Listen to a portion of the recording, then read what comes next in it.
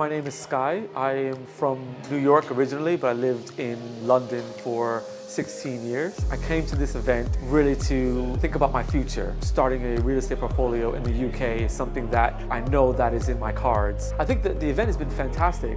Actually, it, it's not what I expected. I think it's not someone poking you and trying to really throw a bunch of real estate at you. It was really about learning about the, the opportunities that's available and learning about how we can get to where we want to be in our personal development in, in, in real estate. On top of that, it was a great sort of networking event, just meeting like-minded people who have similar goals and similar life aspirations. In, in general, it exceeds expectation. One of the key takeaways I've, I've taken from this is the amount of opportunity that there is in the UK. Obviously, the UK, in my head, has always been sort of a closed market. You, you, don't think that there's there's lots going on, but actually there's things going on in different price points, different opportunities, and I think it's just a way in for any of anybody. I recommend people to come to the APW events. The way that they approach it, the way the knowledge of the, the staff and the knowledge of the people that's involved at the event is a, is a huge benefit to, to all the people that attend.